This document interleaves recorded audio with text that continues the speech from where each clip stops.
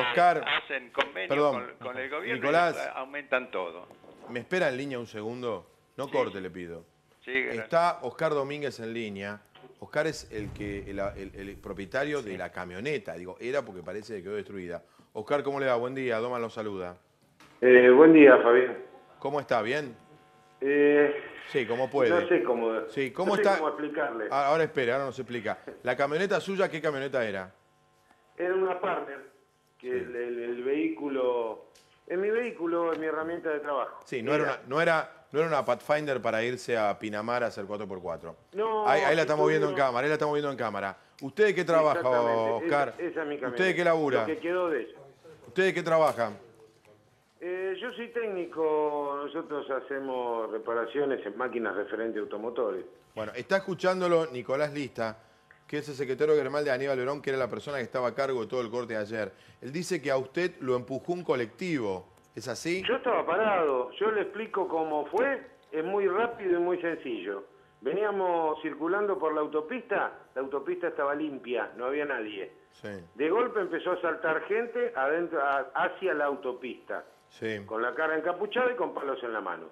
Y atrás entraron a, a bajar nenes, señoras con nenes en brazos. ¿Cuál es la, la impresión de todos? Parar. Yo no quiero ¿Y usted paró? jorobar a nadie ni llevarme a nadie puesto. ¿Y usted paró? Nosotros paramos, como paró todo el tráfico, vino un micro del rápido argentino detrás nuestro que venía en el aire, nos chocó, nos llevó puesto y esta gente nos, nos empezó a insultar, se tiró sobre la camioneta, nos molió a golpes. ¿Usted no cómo podíamos está? bajar cuando ¿Usted bajamos cómo la está camioneta, físicamente? pensábamos que nos mataban y cuando recuperé la camioneta me faltaban la mitad de las cosas que tenía dentro y hasta el interior de la camioneta está destruido. Dígame una cosa, Oscar. Cuando usted estaba dentro del auto y le pegaban a la camioneta y a usted, ¿usted temió por su vida? ¿Y qué le parece? Tener, eh, estar metido dentro de un vehículo sin poder salir, eh, eh, tratando de explicarle a estas personas, pues no sé si son personas, si es gente, ya no sé cómo denominarlas, eh, que eh, nosotros estábamos parados, que nos chocaron, nos pegaban, nos pegaron muchísimo. Yo ayer volví doce y media de la clínica, que me tuve que ir a hacer ver. Eh, ahora tengo que ir a ver un forense, tengo que hacer una declaración. No podíamos salir, la puerta de mi lado de la camioneta estaba trabada, no se abría. La puerta del lado de mi acompañante, cuando él pudo salir, nos tiramos literalmente de la camioneta y venían 30 tipos corriendo con palos en la mano para seguir pegándonos. Oscar, ¿usted puede identificar quiénes eran, si respondían a alguna agrupación? ¿Pudo visualizar eh, un poco más Mira, allá? yo, te, eh, yo te, te lo explico y te lo hago muy fácil. Yo ahora sé cuál es la agrupación porque lo veo en lo que ustedes ponen. Ah. En ese momento nosotros no vimos nada. Yo no, no vi una bandera, no vi nada. Eh, no sé si fue por el golpe, por la situación de nervios. Eh, yo lo único que veía eran palos que nos pegaban. Una locura. Y gente que no entendía, porque no es gente, porque no razona.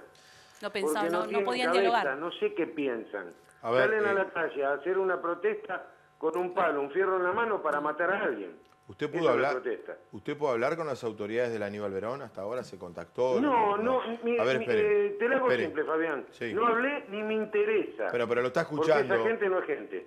Bueno, a ver, eh, entiendo que Oscar esté ofuscado, todos estaríamos igual en la manifestación.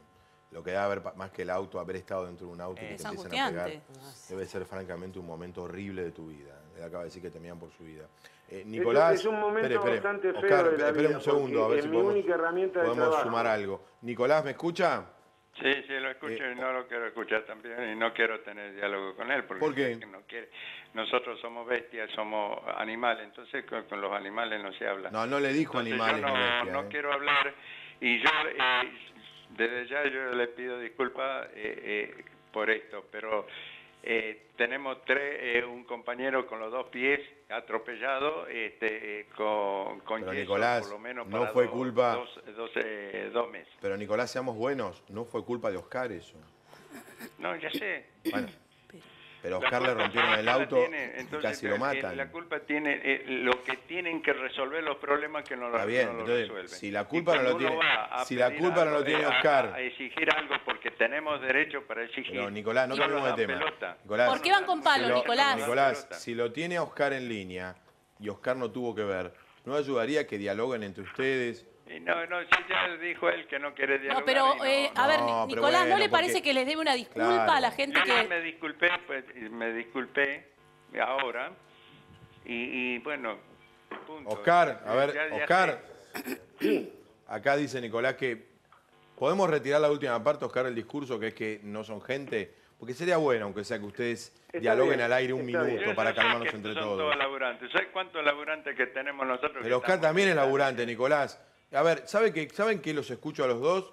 Es laburantes contra laburantes. Sí, sí, Sí, no, no. Bueno, por- Muchachos, porque- el problema no son ustedes. bueno, ya sé, no Digo a los de dos. nosotros, pero tampoco hay, hay una política, hay una política. Sí, pero esa de- política no tiene la culpa Oscar de esa política, gente, Nicolás. Porque hasta ahora no hay solución, no hay Bien, solución. porque estamos de acuerdo, Nicolás. Lo único que le pido es establecer un canal mínimo de diálogo, porque si no, no somos seres humanos. Es decir, que lo que lo que No, nos no, diferencia, yo- el, el habla, el, el habla y la inteligencia lo que nos diferencia del resto del- de, digo, de las razas. animales. Por lo menos un yo saludo entre usted. Sí, Yo comprendo, lo comprendo a él y le pido mil disculpas. muy bien. Punto. A ver, Oscar, acepta Yo- la disculpa. que, eh, Oscar, eh, eh, nosotros no salimos con esa intención. espere, espere. salimos con esa intención. Oscar. Y salimos. Señor. y- y vamos con Espere un segundo, Nicolás. Nicolás, espere un segundo. Oscar, no le devuelve la Sí. camioneta ni el momento horrible que usted pasó, pero por lo menos le están pidiendo disculpas. Eh, mire, yo estoy acá con mi compañero de trabajo, con Víctor, que recibió muchísimos golpes también, tiene un ojo medio negro. Eh, el señor me da las disculpas. Sí. Me rompió Pero él mi no se lo única rompió. herramienta ni- de trabajo. Pero Oscar, él no se lo Eh, rompió. déjame que te explique, por favor. Me rompió mi única herramienta de trabajo. Yo, tra- yo me levanto todos los días a las 6 de la mañana y a veces son las 10 de la noche y estoy llegando a mi casa. es lo único que tengo para trabajar. No tengo dinero para comprar otra. No tengo dinero para arreglar esto porque esto no se El arregla seguro más. no lo paga, ¿no? Yo me quedé sin trabajo. Espere, espere, espere. Yo no sé por qué protesta esta gente. Por lo mismo que usted. gente protesta No, por protesta. trabajo, que no deje a los demás sin trabajo. Claro, a ver, ¿cómo, cómo entender que Oscar como eh, puede puede aceptar hacer. una disculpa? Pero Que no ¿cómo cara va a aceptar una disculpa? Si él Bueno. estaba pasando de por ahí, pero ¿de qué disculpa. Fabi Vamos por- hablas vamos por parte, vamos en por una parte. situación en donde una- en por una parte. protesta van con si no, palos pero, pero, pero, pero, y si no tenemos, a ver, chicos, si es un país Argentina en lo que no tenemos diálogos mínimos, diálogos sí. olvídense de que haya No, inversiones, Es que para qué de que la con economía se La pregunta es a. Nicolás, la pregunta es a Nicolás. Nicolás, ¿para qué Sí. van con palos y con elementos eh, de violencia a una protesta? ¿Por qué los palos? Mire, era vieja data, eh, vieja lucha que habíamos emprendido allá en el 90. Cuando nosotros salíamos, la policía era muy feroz y hasta ahora no ha cambiado mucho. Este, eh, nos castigaba, entonces teníamos una forma de defendernos. Eh, pero no salimos con la intención esa de agredir. Lo que pasa es que generalmente nos agredieron muchas veces y entonces tenemos la... que No es el caso de Oscar Domínguez que fue ¿Sabe lo que agredido. Que acá eh, este es un, un país que a donde más se comprende y a donde más se lo protege, a las grandes empresas, a las multinacionales. sí, sí. Oscar no estamos es hablando de otro una tema. Oscar no son multinacionales. Permanentemente el país, lo saquean. Nicolás, Oscar es un laburante no le- no le que se quedó sin su justicia. camioneta. Estamos hablando de otra cosa ahora. Sí, Pero ya Oscar, sé, espera, espera. Yo ya, yo ya pedí, ya hablé Está del bien. tema. Oscar, una cosa. Espera, espera, Nicolás. Oscar. Sí. Oscar. Eh, yo quiero aclararte algo, Sí, Fabián. dale, dale. Yo no soy una multinacional. No, está soy una claro empresa, eso, soy un laburante como cualquiera. Como Sí. ese señor que está hablando también debe ser un laburante. Igual supongo. todos. Sí. Eh, yo tengo que hacer una protesta y no voy con un palo en la mano, Pero con un fierro de la otra para romper un, un vehículo, para moler a palos a una persona.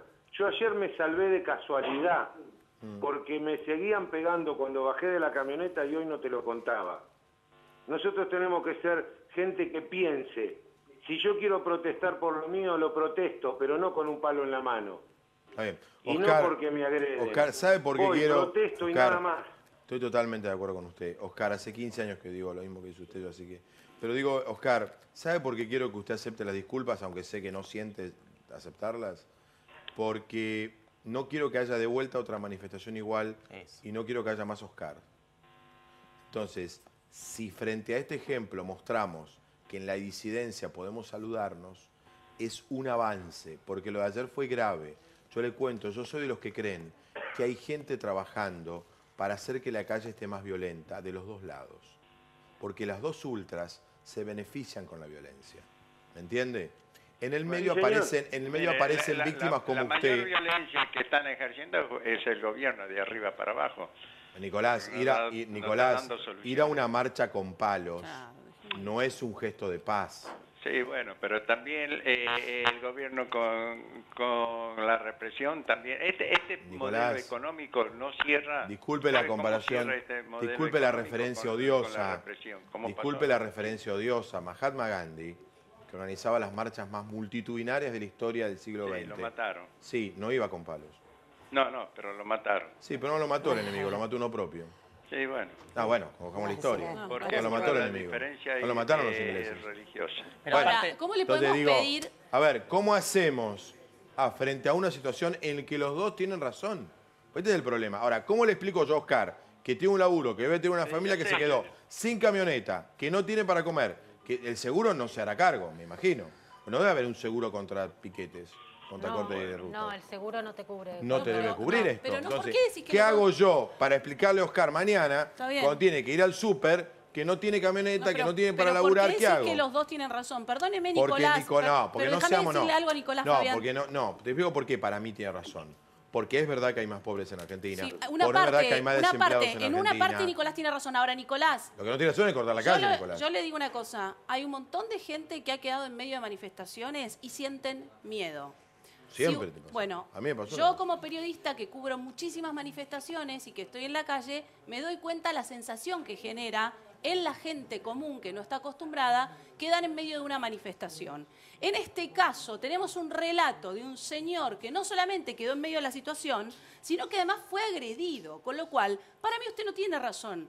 A ustedes se les cae inmediatamente una la violencia, les tapó la razón. Ustedes, por agredir, taparon un reclamo justo, un reclamo genuino y un derecho que tienen a protestar. Pero ¿sabe lo que Ahora, pasa? ¿sabe cuándo se les cae? Cuando van ¿Sabe con palos cuánto- y cuando cuántos agreden. ¿Cuántas veces se habla y no se da resultado? ¿Y por eso vamos a pegar? cuánta- eh, Nicolás, vuelvo a preguntar lo ¿Y por mismo. eso vamos a pegar? Nicolás, Igual que la luz, la luz, que cortan la luz. Y por eso salgamos a pegar, vamos, no vamos todos con palos a no- pegar.